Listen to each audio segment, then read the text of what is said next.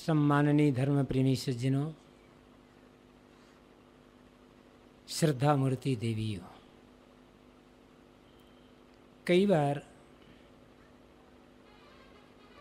आप लोगों ने संत महात्माओं से, भक्त सज्जनों से, धार्मिकों से यह सुना होगा जिज्ञास मुमुक्ष साधकों को गुरु के पास जाना चाहिए। गुरु के साथ रहना चाहिए। तो क्यों? तो कहते हैं कि गुरु शिष्यों को, साधकों को भगवान से मिलने का रास्ता बताता है। और जब भगवान मिल जाता है तो मनुष्य का जीवन कृतार्थ हो जाता है। यह मानव जीवन भगवान का भजन करने के लिए और भगवान को पाने के लिए मिला हुआ है। सब कुछ मिला और भगवान नहीं मिला तो जीवन सफल नहीं होता है। भगवान मिल जाए तो जीवन सफल हो जाए। तो भगवान कैसे मिलेगा? इसलिए कहते हैं कि गुरु के पास जाना चाहिए। गुरु शिष्यों को भगवान से मिलने का भगवान को पाने का रास्ता और तरीका बताता है। इस बात में सच्चाई होगी, लेकिन पूरी सच्चाई नहीं है। पूरी सच्चाई यह है, जो सच्चे गुरु होते हैं, पूर्ण गुरु, वे अपने शिष्य को भगवान को पाने का रास्ता नहीं, किंतु भगवान बनने का रास्ता बताता है। आपको भगवान पाना नहीं है, भगवान बनना है, भगवान होना है। पाएँगे तो भगवान फिर बिछुड़ जाएगा। स्थायी कब तक रहेगा वह? और आप स्वयं भगवान हो गए, तब बिछुड़ने की बात ही नहीं है। आपको स्वयं भगवान होना होगा। तभी दुखों की पूरी निवृत्ति होगी। तभी जीवन में पूर्ण कृतार्थता आएगी। तभी मानसिक संताप और पीड़ा से आप बच पाएँगे और कोई रास्ता नहीं है। लोग कह सकते हैं, देखो ये लोग खुद भगवान बनना चाहते हैं। चाहे जिसको हो, दुख निवृत्ति तो भगवान बनना ही पड़ेगा। लेकिन भगवान है कौन? भगवान कहते किसे हैं? ये समझना होगा। भगवान शब्द सुनते ही हमारे दिमाग में एक ऐसी अलौकिक सत्ता की कल्पना खड़ी हो जाती है। एक नक्शा बन जाता है। इधर आकर देव साहब लोगों का। इधर आ जाओ साहब लोगों को दे दो। कि एक ऐसी अलौकिक सत्ता है जिसने दुनिया बनाई और जो दुनिया को चला रहा है, चला रही है। सब कुछ का हाल जानती है, सब कुछ कर सकती है। क्योंकि हम ऐसा सुनते आए हैं और पढ़ते भी आए हैं, लेकिन यह कल्पना केवल कल्पना मात्र ही है। दुनिया तो सदा से है। कब नहीं थी दुनिया और कब नहीं रहेगी। जो मैटर है, द्रव्य है, वह नित्य है। और नित्य द्रव्यों में उनके नित्य अपने गुण धर्म हैं। वो स्वभाव सिद्ध हैं। उनके अपने जो गुण धर्म हैं, उन, उनकी अपनी जो गति है, उन्हीं गति और गुण धर्मों से परमाणुओं में परस्पर संयोग, वियोग, मिलना, बिछुड़ना होता रहता है। और उन्हीं परमाणुओं के मिलने, बिछोड़ने संयोग, वियोग से चीज़ें बनती, बिगड़ती रहती है।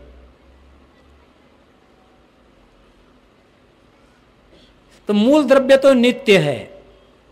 जो हम देखते हैं नाना रूपात्मक पदार्थ, इनका बनना बिगड़ना होता है। हवा कब नहीं थी, पानी कब नहीं था, आग कब नहीं थी, मिट्टी कब नहीं थी, और इस चेतन जीव कब नहीं थे? नहीं थे तो कहाँ से आ गए? कुछ होने से ही कुछ होता है, शून्य से तो कुछ पैदा होता नहीं है। अब ये भी है, जो मूल द्रव्य है, मूल पदार्थ, वे दिखाई नहीं पड़ते। जो सत्य है, वो दिखाई नहीं पड़ता। जो दिखाई पड़ता है, वो सत्य नहीं, झूठ होता है। झूठ का मतलब जो आज है और कल न रहे,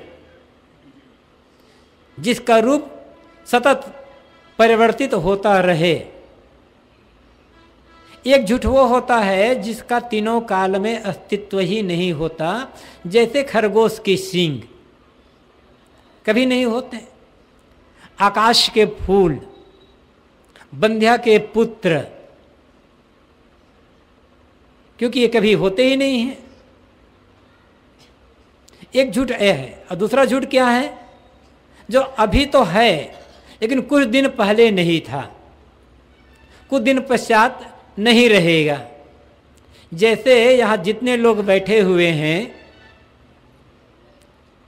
इनमें से किसी का भी शरीर सौ साल के पहले नहीं था।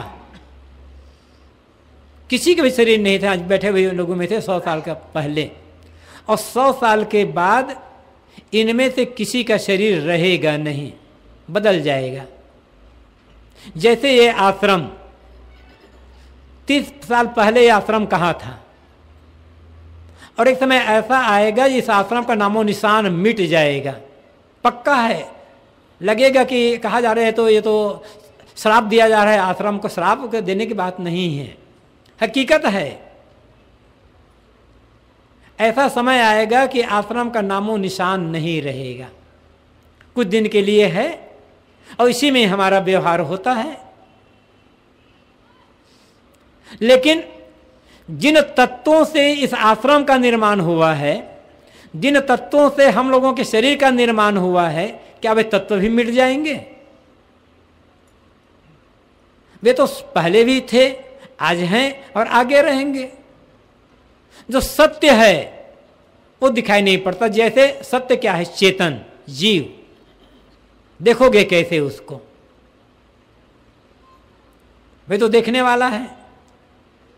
चेतन जीव की उपस्थिति हमें शरीर के माध्यम से होती है, उसका बोध उसका बोध होता है। निराधार आधार ले जानी। सदुर कबीर ने कहा है, जो निराधार चेतन है, उसको शरीर के आधार से ही हम जानते हैं। बिना आधार के शरीर, बिना शरीर के चेतन का बोध नहीं होगा। मैं अजर, अमर, अविनाशी आत्मा हूँ, शुद्ध बुद्ध हूँ। ऐसा हम कब कहते हैं? शरीर है तब कहते, बिना शरीर के कोई कह सकता है? आवश्यकता भी क्या है? तो जो निराधार है, उसका बोध, उसका ज्ञान हमें आधार से होता है। चेतन सत्य है और दिखाई नहीं पड़ता। परमाणु सत्य है। यह मकान कैसे बना हुआ है? परमाणुओं की ढेर से। लेकिन परमाणु क्या कभी कोई देख सका है आज तक? कैसे देखोगे उसको लेकिन वही सत्य अंतिम इकाई। परमाणु का अर्थ वह है, वह अंतिम इकाई जिसका विभाजन न किया जा सके, जो अविभाज्य हो। वैज्ञानिक ये कहते हैं कि आज परमाणु को भी तोड़ा जा सका। परमाणु को भी तोड़ दिया गया है। लेकिन हम उसे परमाणु एक, उसे कहते हैं जो अंतिम क्या जिसका विभाजन ना हो सके, विभाजन करते करते करते ऐसी स्थिति आ जाए जहाँ विभाजन संभव ना हो। उसे देखोगे कैसे? लेकिन वही मूल है, वही इकाई है। अरे कब नहीं थे? सब समय थे।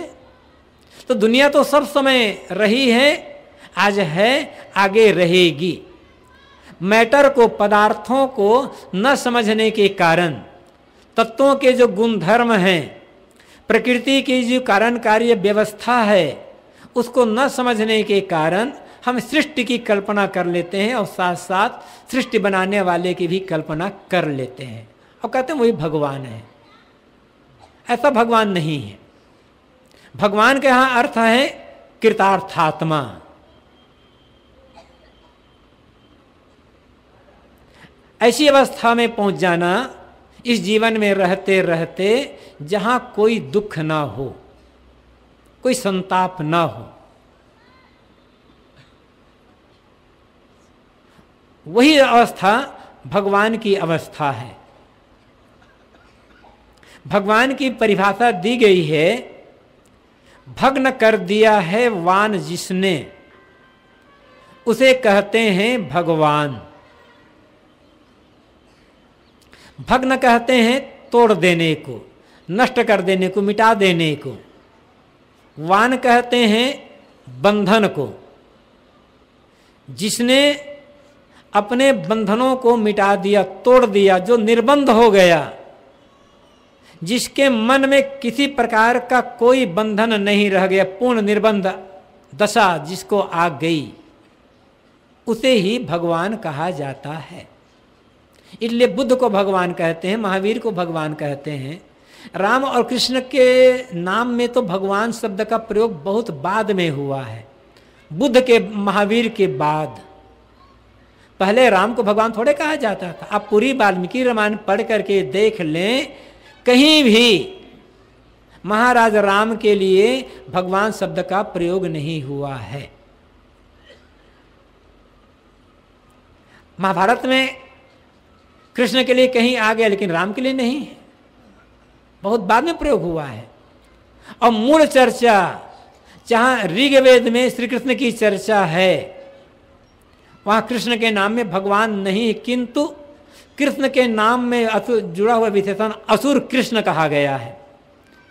ऋग्वेद में राम का भी नाम आता है एक जगह, वहाँ कहा गया असुर राम, असुर कृष्ण। आप कहते हैं राम और कृष्ण के नाम में असुर कैसे? असुर तो गलत है। लेकिन ये तो परिभाषा बाद में बदल गई ना। असुर असुर कहते हैं प्राणवान को, बलवान को। असु कहते हैं प्राण को, बल को। तो जो बलवान हो, प्राणवान हो, उसे असुर कहा जाता है। आज असुर का अर्थ हम समझते हैं खराब। ऋग्वेद में असुर शब्द का सम्मान प्रयोग, सम्मानजनक प्रयोग। ज़्यादा हुआ है, निरादर परक प्रयोग बहुत कम हुआ है। तो ऋग्वेद में कृष्ण के नाम में कहीं भगवान नहीं है, अलौकिकता नहीं है। असुर कृष्ण कहा गया है, गायों का रक्षक, आदिवासियों का समर्थक, इंद्र का विरोधी। छांदोग उपनिषद में भी जहाँ श्री कृष्ण की चर्चा, वहाँ कोई भगवान शब्द नहीं है मुख्य कृष्ण की चर्चा आती है। तो पहले जो ऋषि मुनि हुआ करते थे, कृतार्थात्मा, त्याग वैराग्यवान, उनको ही भगवान कहा जाता था। और उसी अर्थ में कबीर साहब ने भी भगवान शब्द का प्रयोग किया है और उनकी ही पूजा आराधना करने की बात, उनकी सेवा करने की बात, उपासना करने की बात उन्होंने कही है। कर विचार विकार परिहरि तरन तारण सोए। कहे ही कबीर, भगवंत भजुनर द्वितीया और न कोय जिन्होंने विचार करके विकारों का पूर्णतः त्याग कर दिया, जिनका जीवन निर्विकार हो गया, निर्मल। साहब कहते हैं, वे तरण हैं, वे मुक्त हैं। और तारण, वे ही दूसरों को मुक्ति का मार्ग बताने वाले, दूसरे की मुक्ति में सहायक हैं। जो अपने बंधन को काट चुका है, वही तो दूसरों को बंधन काटने का उपाय बताएगा।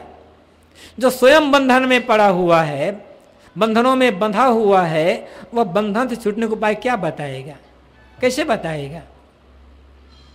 इसलिए साहब ने कहा, कर सेवा निर्बंध की, पल में ले छुड़ाए। बंधे को बंधा मिला, छूटे कौन उपाय? कर सेवा निर्बंध की, पल में ले छुड़ाए। बंधे हुआ आदमी, दूसरे बंधा हुआ आदमी को बंधन से मुक्त कैसे करेगा? बंधन से मुक्त वही कर सकता है जो स्वयं निर्बंध हो। और बंधन क्या है? विकार। मन की गंदगी, मन की मलिनताएँ। छूटेगी कैसे? विचार पूर्वक साधना करने से। हट करने से काम नहीं बनेगा। हट करके हम काया को कष्ट दे सकते हैं, लेकिन हट करके विकारों का त्याग नहीं हो सकता है। विचार करना होगा।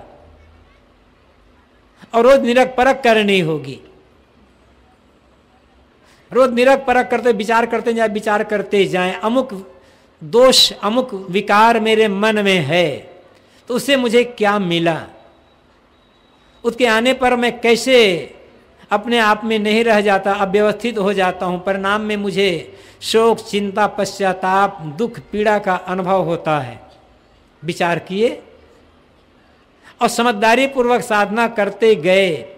एक एक विकार एक एक विकार छोड़ते गए, छोड़ते छोड़ते सारे विकारों का त्याग कर दिए। तो आप मुक्त हो गए। और ऐसा जो मुक्त पुरुष है, वही ताड़न है।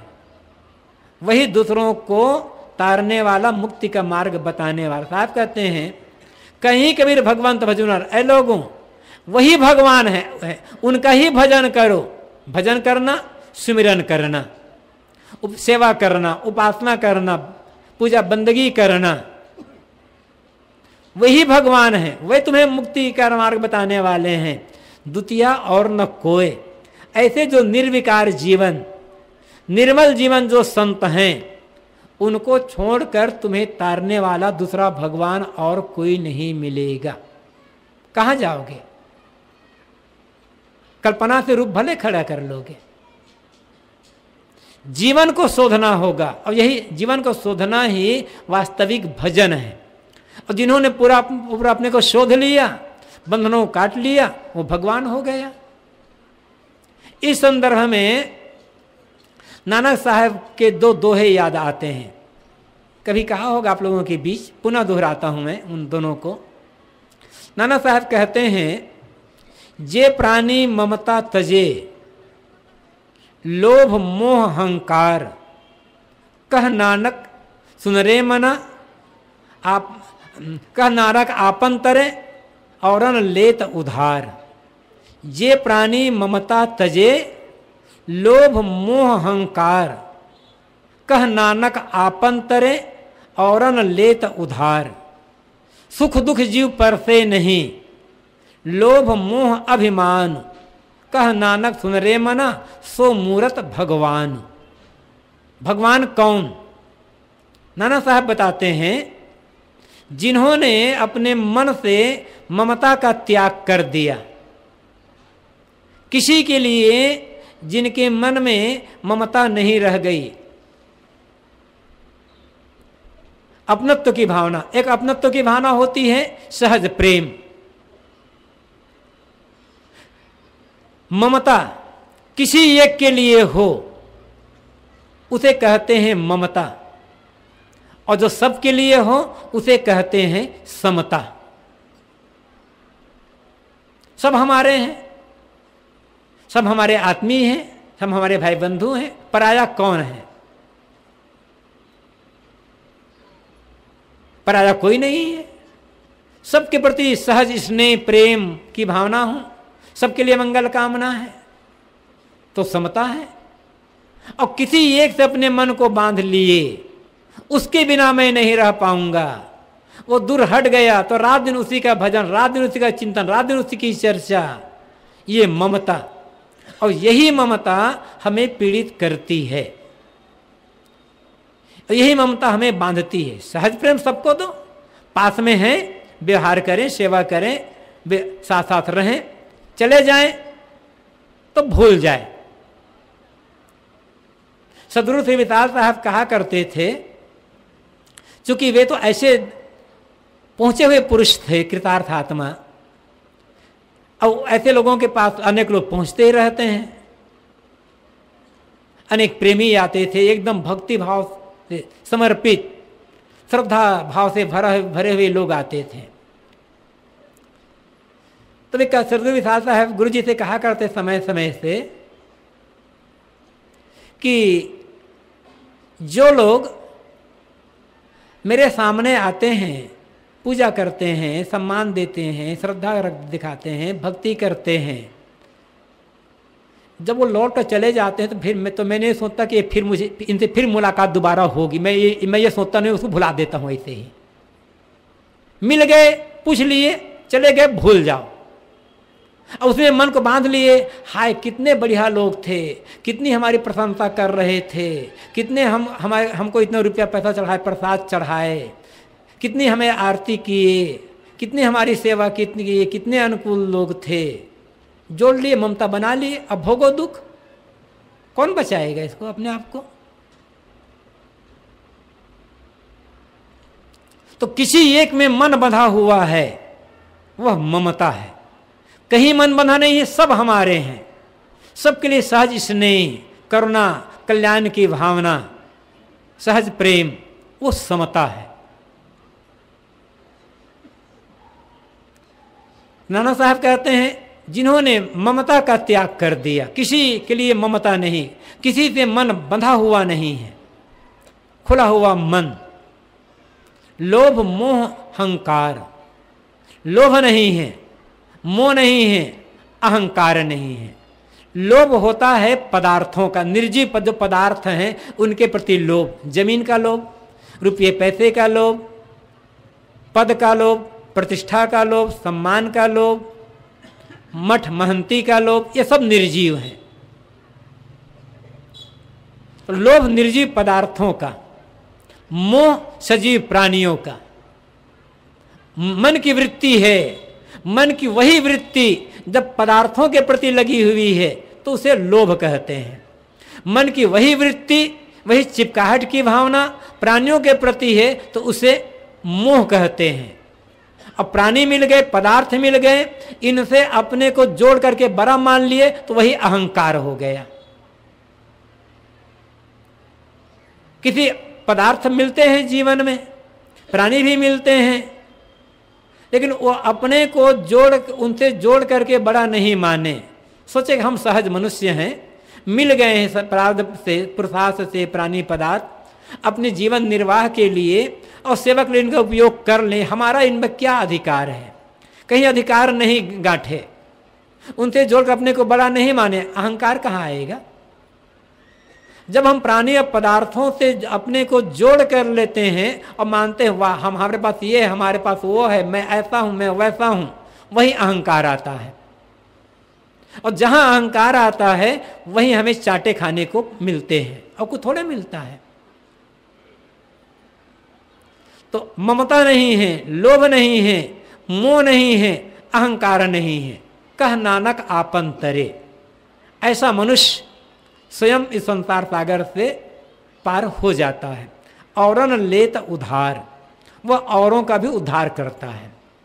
प्रेरणा दे करके, समझा करके, सही रास्ता बता करके, उत्साहित दे करके औरों को कल्याण मार्ग में लगाकर उनका भी उद्धार करते हैं।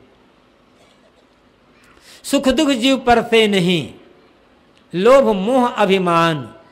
कह नानक सुन रे मना, सो मूरत भगवान। जिनके मन में सुख और दुख का स्पर्श नहीं होता। लोभ, मोह, अभिमान। लोभ नहीं है, मोह नहीं है, अभिमान नहीं है। अब प्रश्न यह होता है, कौन ऐसा आदमी है जो सुख और दुख से बचा हो? सुख पाने के लिए तो सब काम कर रहे हैं, दुख से बचने के लिए काम कर रहे हैं। तो सुख दुख से बचा कौन है? कोई नहीं बचा, बाहरी दृष्टि देखें तो। और यहाँ कहा गया है कि कि सुख दुख जीव पड़ते नहीं, मन में सुख दुख की स्पर्श ना हो। इसका अर्थ क्या है? सुख क्या है? मन की अनुकूल वृत्ति इस सुख है। प्रतिकूल वृत्ति, ये दुख है। मन को अनुकूल लगने वाले प्राणी मिल गए, पदार्थ मिल गए, खाने पीने की चीज़ मिल गई, हम सुखी हो गए। मन को अच्छी अच्छी न लगने वाली चीज़ें मिल गई, अच्छे न लगने वाले पदार्थ और प्राणी मिल गए, बस हम दुखी हो गए। अब ये अनुकूलता और प्रतिकूलता जीवन पर्यंत आती जाती रहेंगी। संयोग वियोग जीवन पर्यंत बने रहेंगे, हानि लाभ जीवन पर्यंत बने रहेंगे।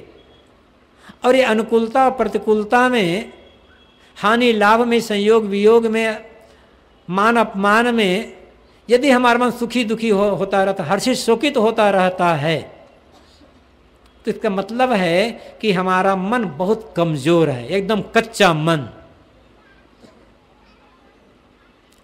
यह भी समझने की बात है कि कोई भी काम हो सेवा का काम हो साधना का काम हो अनुकूलता में बढ़िया बनता है। ज्ञानी से ज्ञानी पुरुष को भी अनुकूलता प्रिय होती है। लेकिन प्रिय होना अलग बात है, मोही होना अलग बात है। पास में रहने वाले लोग हैं, अनुकूल हैं तो सेवा बढ़िया बनेगी, साधना बढ़िया बनेगी। और बात बात में लोग विघ्न डालते रहेंगे, कुछ को कुछ कहते रहेंगे, समय से भोजन नहीं मिला, समय से कोई कुछ नहीं मिला तो साधना कैसे बनेगी बढ़िया? सेवा कैसे बनेगी? तो काम अनुकूलता में बनता है, प्रतिकूलता में थोड़ी कठिनाई होती है। लेकिन अनुकूलता मिली, हर्षित हो गया हमारा मन, एकदम फूल करके कुप्पा हो गया। प्रतिकूलता मिली, एकदम शोकित तो हो गया। माथा पकड़ करके बैठ गए, कच्चा मन। अब ऐसा क्यों होता है? क्योंकि जितना ज़्यादा हम सुखाध्यासी होते हैं, भोगलोलुप होते हैं, उतना ज़्यादा स्थिति आती है। अनुकूलता का स्वागत, प्रतिकूलता का स्वागत। सहज लोग, सहज शारीरिक सुख मिला, सुविधा मिली, उसको उपयोग कर ले। असुविधा मिली, उसमें भी व्यवहार कर ले। कहीं बांधे ना, अपने मन को सभी स्थितियों से ऊपर उठा करके रखना, समता में जीना। और समता में जीना, यही इसी को गीता में योग कहा गया है। समत्वम ही योग उच्चते अनुकूलता, प्रतिकूलता, सुख, दुख, हानि, लाभ, मान अपमान में, मन में समता रहना। यही योग है।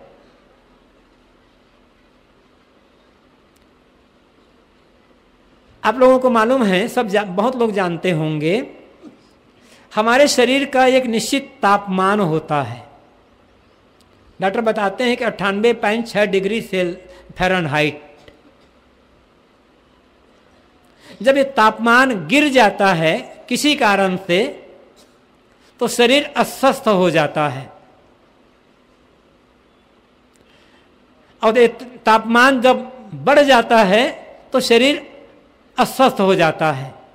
तापमान घटा तो शरीर अस्वस्थ। तापमान बढ़ा तो शरीर अस्वस्थ।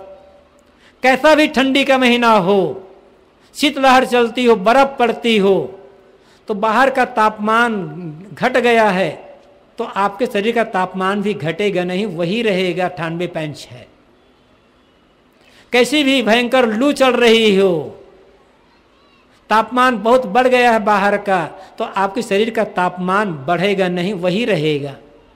बाहर का टेम्परेचर घटने से शरीर का टेम्परेचर घट गया, बाहर का टेम्परेचर बढ़ने से शरीर टेम्परेचर बढ़ गया, इसका मतलब आपका शरीर बीमार है। आप जी नहीं सकते। कोई नहीं जी सकेगा। स्वस्थ शरीर का तापमान ठंडी में, गर्मी में, सब में एक जैसा रहता है।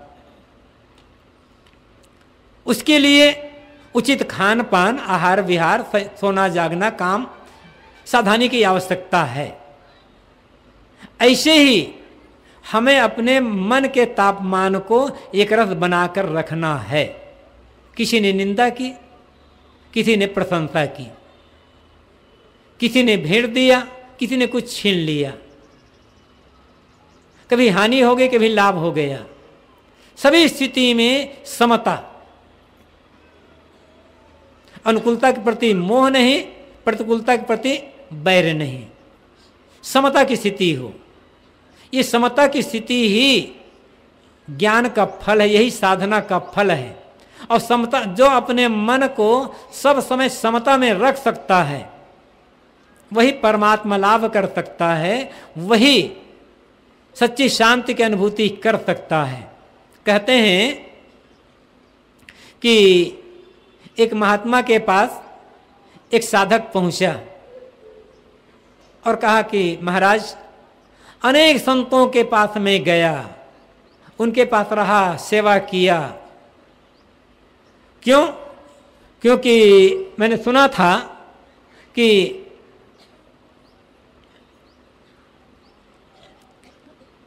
मानव जीवन का फल है भगवान को पाना, भगवान को देखना, भगवान दर्शन करना। तो भगवान दर्शन करने के लिए अनेक महात्माओं के पास गया उनसे निवेदन किया आप मुझे भगवान दर्शन करा दें। तो महात्माओं ने कहा, भाई, हमने दर्शन नहीं किया तो तुम्हें कहाँ से करवाएँगे? भगवान दर्शन कहीं हुए नहीं। हाँ भटकते भटकते संतों के पास मैंने ये सुना कि जब तीसरा नेत्र खुलता है, तब भगवान के दर्शन होते हैं। ये दोनों नेत्रों भगवान के दर्शन नहीं होते। भटकते भटकते आपके पास आया हूँ। आप ऐसी युक्ति बताएँ कि तीसरा नेत्र मेरा खुले और मैं भगवान के दर्शन करूँ। तो महात्मा ने कहा, बेटा, तुम ठीक कहते हो। जब तक तीसरा नेत्र नहीं खुलेगा, तब तक तुम भगवान को देख नहीं पाओगे। लेकिन तीसरा नेत्र खोलने के लिए अपने दोनों नेत्रों को बंद करना होगा।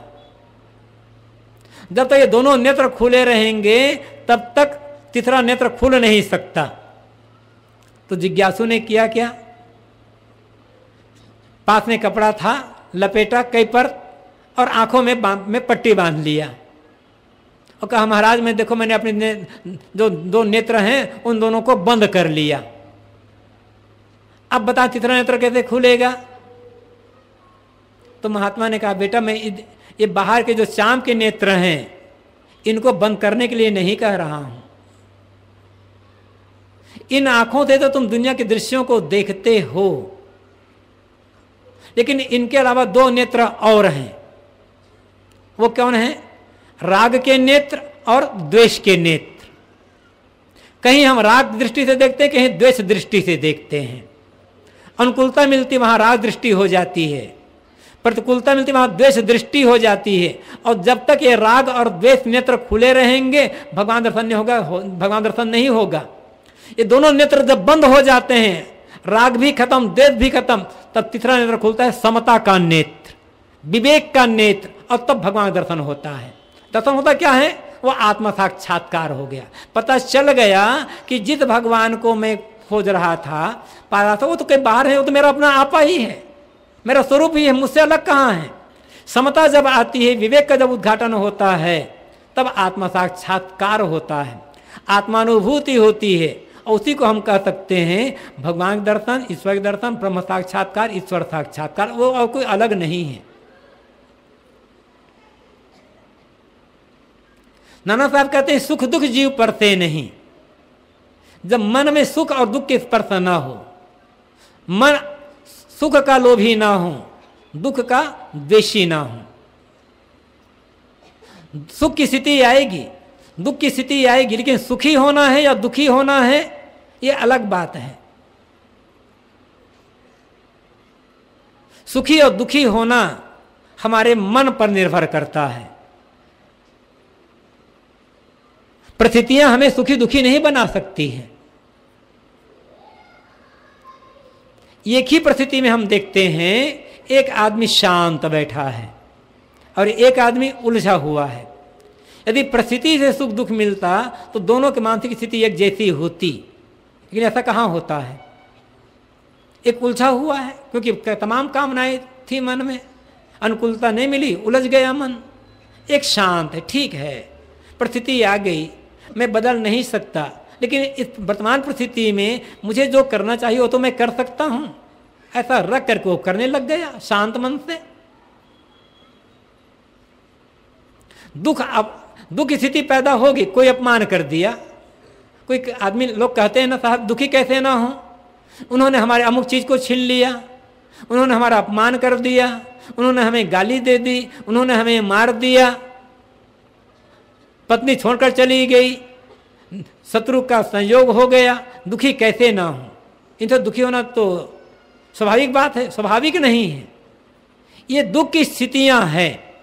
अपमान होना, हानि होना, मार खा जाना, गाली सुन लेना प्रिय का वियोग हो जाना, ये दुख की स्थितियाँ हैं। दुखी होना है या नहीं होना है, ये हम पर निर्भर करता है। चाहे तो दुखी हो, चाहे दुखी ना हो जितना हम अपने आप को प्राणी और पदार्थों से परिस्थितियों से जोड़ते हैं, उतना सुखी दुखी होते हैं। जितना नहीं जोड़ते, न्यूट्रल रखते हैं अपने आप को, उतना हमारा मन शांत रहता है। इसीलिए गीता में कहा गया है, दुख संयोग वियोगम योग संगीतम। योग किसे कहते हैं? दुख के संयोग का वियोग कर देना। दुख के संयोग का दुख का वियोग करना नहीं कहा गया। दुख के संयोग का वियोग करना। कभी संभव है कि लोग हमें बुरा न कहें? कभी संभव है कि लोग हमारी बुराई न करें? कभी संभव है जीवन में रोग ना आए? कभी संभव है कि प्रिय का वियोग ना हो? कभी संभव है कि अप्रिय संयोग ना हो? ये तो होगा। इन हम कैसे रोक सकते हैं? किसके प्रारब्ध में क्या से कब क्या घटना घटेगी क्या मालूम? तो न हम प्रिय के वियोग को रोक सकते हैं, न प्रिय के संयोग को रोक सकते हैं, न हानि को रोक सकते हैं, न अपमान को रोक सकते हैं। यही है दुख का संयोग होना। अपमान मिला दुख का संयोग हुआ, लेकिन इस संयोग का वियोग कर दें कि इससे अपने मन को न जोड़ें। जब हम मन को जोड़ लेते हैं किसी परिस्थिति से कहीं से भी, तब वहाँ दुख का अनुभव होता है। अन्यथा दुख का अनुभव नहीं होता। एक आदमी गाली दे रहा है, हम सुन रहे हैं, हमें पता नहीं किसी गाली दे रहा है। तो कहते हैं, आदमी बिना मतलब गाली दे रहा है, हम दुखी नहीं हैं। थोड़ी देर पता चला, अरे ये तो मुझे सुना कर दिया जा रहा है गाली, बस दुखी हो गए। क्यों? जोड़ लिया अपने आप को। अभी तो जोड़े नहीं थे, माने नहीं थे कि मुझे गाली दी जा रही है, दुखी नहीं थे। अब पता चला कि नहीं, मुझे गाली दी जा रही, मुझे सुनाकर कहा जा रहा, दुखी हो गए। संयोग तो था, लेकिन दुखी नहीं थे। जोड़ लिए, दुखी हो गए। इसका वियोग कर दो। ठीक है, उसका मन। सदगुरु श्री विशाल साहेब कहा करते थे, किसी ने कहा, साहब, अमुक आदमी, अमुक भक्त या अमुक महात्मा आपकी बुराई कर रहे थे। आपकी, आपको भला बुरा कह रहे थे। तो सदगुरु साहब साहब कहते थे, ठीक है, उसका जैसा उसका मन, वैसा उसने कहा। उसमें ये बुराई करने में उसका कोई लाभ रहा होगा। उन्होंने मेरी बुराई की, उसका मन प्रसन्न हो गया, लाभ हो गया और मेरी कोई हानि नहीं हुई। बस काम बन गया। कोई हमारी बुराई कर रहा है तो क्यों कर रहा है? लाभ मानकर कर रहा है ना कि इसी बुराई करूँगा तो मेरा लाभ होगा, मुझे सुख मिलेगा। उन्होंने हमारी बुराई की उसका लाभ हो गया। और हमारा कोई घाटा नहीं, कोई हमारी बुराई करेगा तो हमारे शरीर का तो का ये मांस घट जाएगा का पाव भर। और कोई हमारी प्रशंसा कर दे तो एक किलो हमारा मांस बढ़ जाएगा क्या? हम तो जैसे ही तैसे रहेंगे ना, लेकिन हम मान लेते हैं। और जितना हम अपने को बड़ा मानते हैं, हम इतने अच्छे हैं, हम इतने ऐसे साधु हम ऐसे बैरागी हम ऐसे ज्ञानी हैं, हम ऐसे ऐसे हैं। जितना मानते गए मानते गए, उतना दुखी होते गए होते गए होते गए, कोई रोकेगा नहीं। कुछ ना माने, अपने कहीं ना जोड़ें, दुख कहाँ होगा? कहते हैं कि सदरु कबीर अपने शिष्य के साथ कहीं जा रहे थे।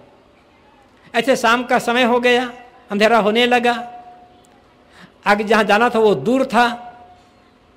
तो कबीर साहब ने अपने शिष्य से कहा कि देखो, अंधेरा हो रहा है, रास्ता ठीक आगे है नहीं तो कहें, रुक जाना रात में अच्छा होगा।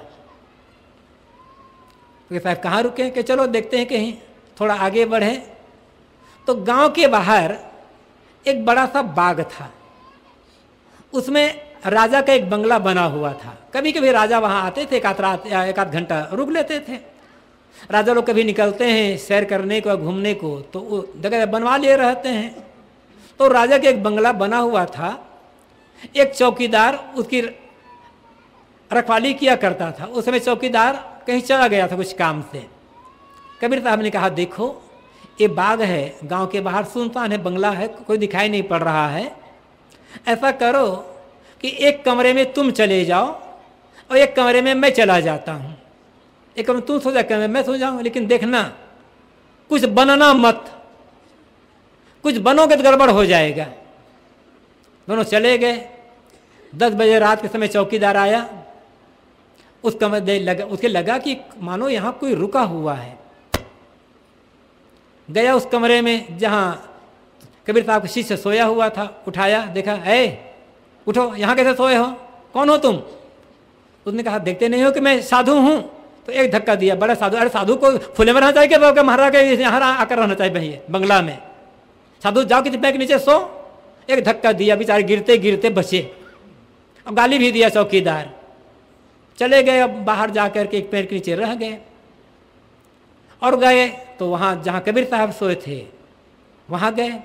वहाँ पूछे, ए बाबा, कौन हो? कबीर साहब नींद खुली, देखे, कुछ कहे नहीं साहब। कबीर साहब उठे, आँख तो अपना सामान लिए और चुपचाप निकल गए बाहर।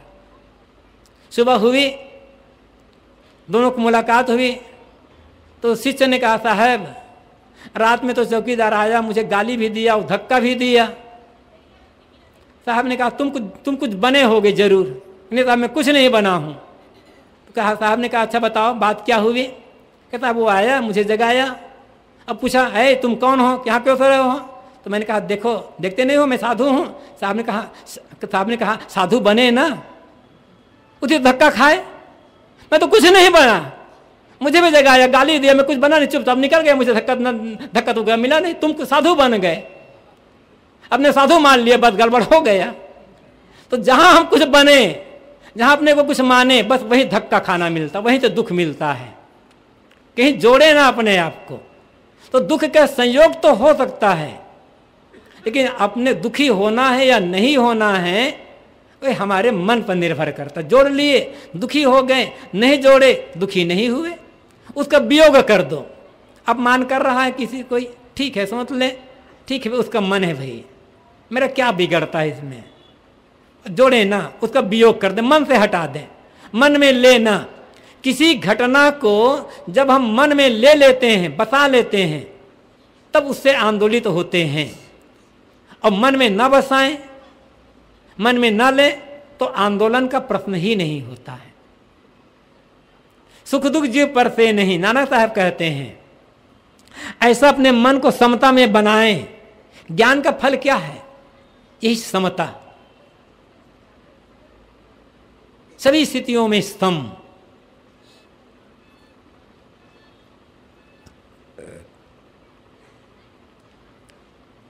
लोभ मोह अभिमान। मैंने कहा कि लोभ ना हो। आदमी के पास लोभ हो जाता है। चीज़ें बढ़ती गई बढ़ती गई। बस लोभ की वृत्ति आती गई। संग्रह की वृत्ति आती गई, संग्रह की वृत्ति आती गई आती गई आती गई। लोभ में और कैसे बढ़े, और कैसे बढ़े, और कैसे बढ़े? धन का लोभ, पद का लोभ, प्रतिष्ठा का लोभ गुरुवाई का महंती का लोभ।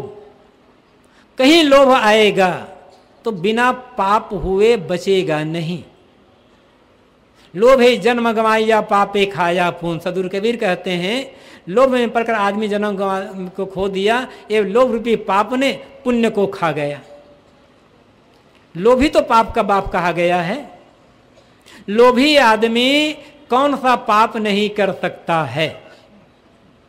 उसके लिए रुपया रुपया ही भगवान है, रुपया ही गुरु है, रुपया ही माता पिता है, बाकी सब गौण है। और लोभी आदमी साधना क्या करेगा? लोभी आदमी सेवा भी क्या करेगा? जिसके चित्त में हर में हर दिन, हर समय हाय पैसा हाय पैसा हाय पैसा पैसा पैसा नाच रहा है। वो कौन सा अनर्थ नहीं कर सकता है? लोभ से बचें। लोभ ही करना है ना? तो वृत्ति को थोड़ा मोड़ दें।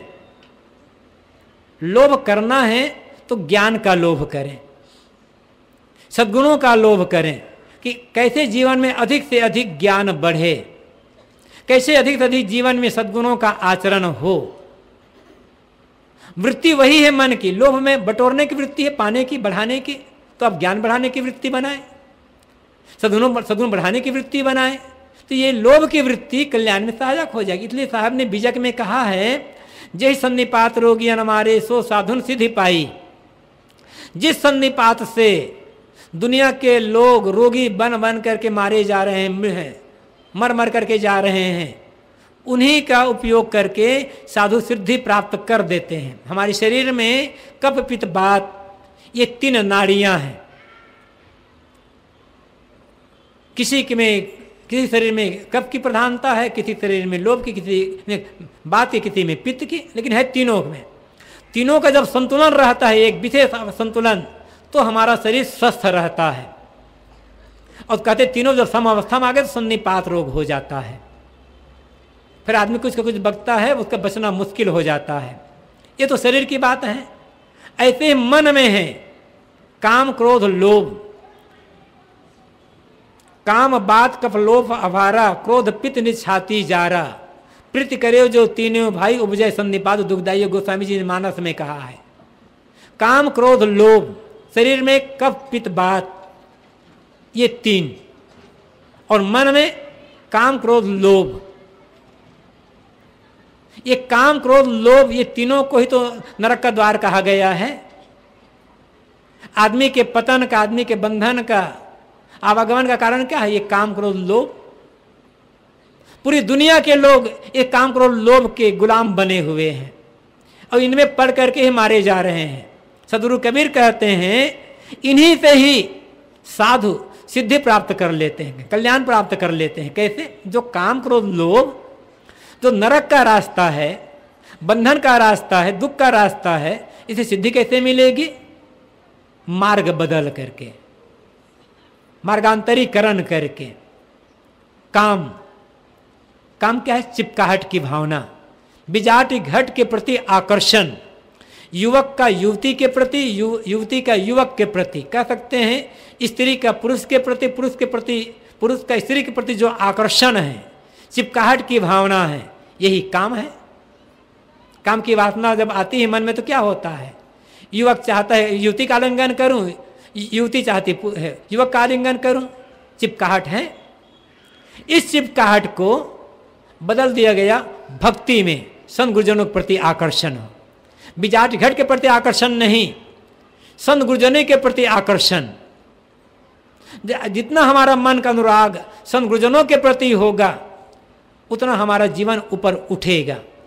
तो साधु, साधक काम को बदल देते हैं भक्ति में। क्रोध। क्रोध में होता है कि सामने वाले का कैसे अधिक से अधिक नुकसान करूँ? सामने वाले को कैसे अधिक से अधिक दुख पहुंचाऊं, चोट पहुंचाऊं, पीड़ा दूँ? क्रोध में सदा सदे मिटाने के नुकसान करने की भावना होती है। लेकिन जो भक्ति प्रधान है, साधक है, उसका कोई बाहर कोई बैरी है ही नहीं। उसका बैरी कौन है? उसके अपने मन के विकार। तो साधक बाहर किसी पर क्रोध नहीं करता। क्रोध करता है अपने दोषों पर गलतियों पर विकारों पर। इसे बद, क्रोध बदल देते हैं वैराग्य में। क्रोध वैराग्य में बदल गया। अब बाहर कोई दुश्मन नहीं रह गया। दुश्मन है अपने मन के विकार। उनको मिटाना है वैराग्य हो गया। लोभ में और बटोरूं और बटोरूं और बटोरूं। कैसे अधिक से अधिक बढ़े? जो कुछ मिला बटोरते गए बटोरते गए बटोरते गए। साधक इस लोक बदल देते हैं ज्ञान में, कि अधिक से अधिक ज्ञान का अर्जन करूँ, अधिक से अधिक शांति का अर्जन करूँ, अधिक से अधिक सद्गुणों का आचरण करूँ। तो काम बदल गया भक्ति में, क्रोध बदल गया वैराग्य में, और लोभ बदल गया ज्ञान में। बस कल्याण हो गया। वृत्ति वही है। दिशा बदल गई। आलंबन बदल गया। तो पहले जो बंधन का कारण था, अब वह मुक्ति का कारण बन गया। तो लोभ अधिक अधिक बटोरने की भावना, मोह चिपकने की भावना और अभिमान अपने को जोड़ करके तो इन तीनों से मुक्त हो गए। मन में मन में समता आ गई, लोभ, मोह, अहंकार से मन ऊपर उठ गया। पूरा जीवन निर्मल, ज्ञान, भक्ति बैराग की त्रिवेणी में निमज्जन करके कृतार्थ जीवन नाना साहब कहते हैं, कह नानक सुन रे मना, सो मूर्त भगवान। ऐसा जो व्यक्ति प्रत्यक्ष भगवान है, उनको छोड़कर तुम्हें भगवान और कहाँ मिलेगा? कहीं खोदने जाओ, नहीं मिलेगा। और कोई भी व्यक्ति विवेक विचार पूर्वक साधना करके इस स्थिति को प्राप्त कर सकता है। संत गुरुजन हमें रास्ता बताते हैं, उपदेश देते हैं, क्यों? क्योंकि वे समझते हैं कि इन उपदेशों का पालन करके व्यक्ति जीवन सुधार करके इस दशा को प्राप्त कर सकता है। मानव मात्र की जो मौलिकता है, उसमें कहीं कोई अंतर नहीं है। जीवन मुक्ति की दशा में स्थित विराजमान जो संत हैं, उसकी जो मौलिकता है और भयंकर विषय वासना में लिपटा हुआ जो कामी व्यक्ति, उसकी जो मौलिकता है, उस मौलिकता में अंतर नहीं है। अंतर है तो जीवन के व्यवहार में। यदि संत गुरुजन ये समझते कि लोग बदल नहीं सकते तो उपदेश क्यों करते वो?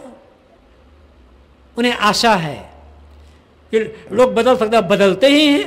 अनेक ऐसे लोग हैं, संतों की संगत पा करके अपने जीवन में पूरा का पूरा परिवर्तन कर लिए और परिवर्तन ही नहीं कर लिए, कृतार्थ हो गए। तो शुरू की थी अपनी बात मैंने कि गुरु, शिष्य को भगवान पाने का रास्ता नहीं बताता है, सच्चा गुरु शिष्य को भगवान होने का रास्ता बताता है। आपको भगवान पाना नहीं, भगवान होना है। हो गए तो सदा के लिए हो गए। फिर उसमें बिगड़ना नहीं होगा। मिल गया तो छूट जाएगा। उसके लिए रास्ता क्या है? सदुर कबीर कहते हैं, विचार करके विकारों का प्रत्याग कर दो। निर्विकार जीवन, निर्मल जीवन, निर्दोष जीवन। बस तुम भगवान हो गए। अपना तरोगे, औरों को भी तरने का रास्ता बताओगे। नाना साहब कहते हैं, जिसके मन में ममता नहीं है, अहंकार नहीं है, लोभ मोह नहीं है, जिसका मन समता में स्थित है, वह व्यक्ति प्रत्यक्ष जीवित भगवान हैं।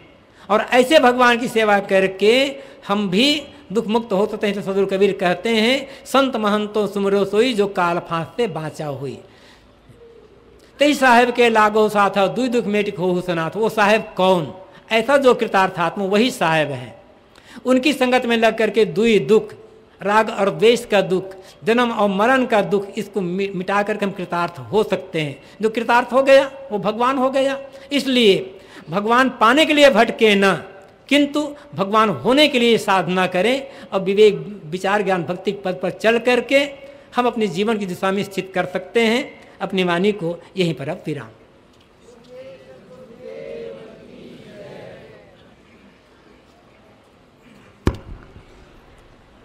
बोलिए, सदगुरुदेव की। अभी हम लोग परम श्रद्धे श्री साहेब जी के